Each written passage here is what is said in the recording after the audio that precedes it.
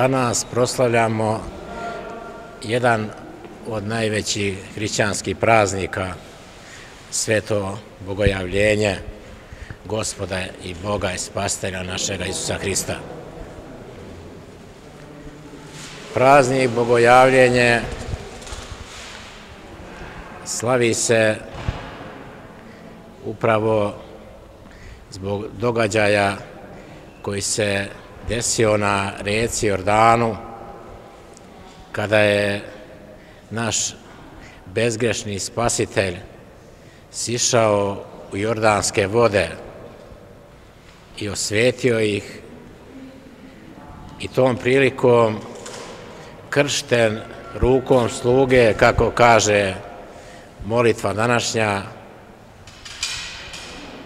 on koji greka nije učinio, niti se prevara nađe u njegovim ustima. Zato mi pravoslavni hrišćani sa ovoliko radošću slavimo prazni bogojavljenja.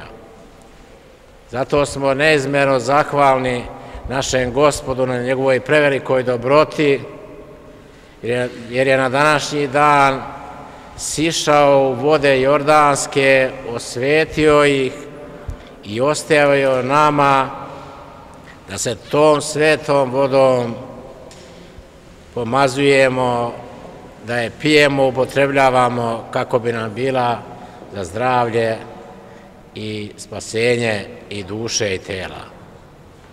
I uvek kada čujemo prilikom vodosvećenja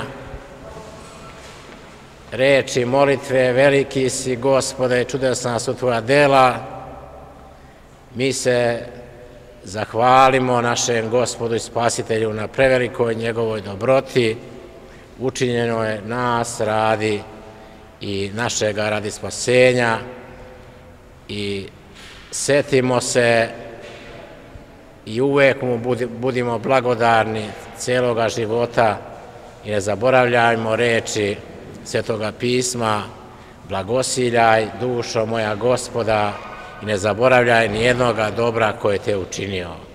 Pogotovo veliko je dobrote koja se dogodila na praznik bogojavljenja, kada se na reci Jordanu krstio Sin Božiji, na njega sišao Duh Sveti, a sa nebesa se čuo glas Boga Oca, ovo je sin moj ljubljeni koji je po moje volji.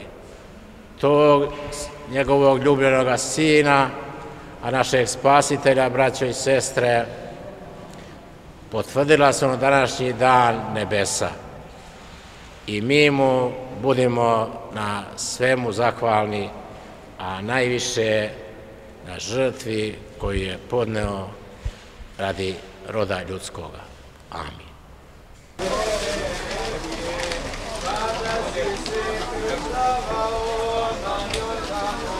Kada si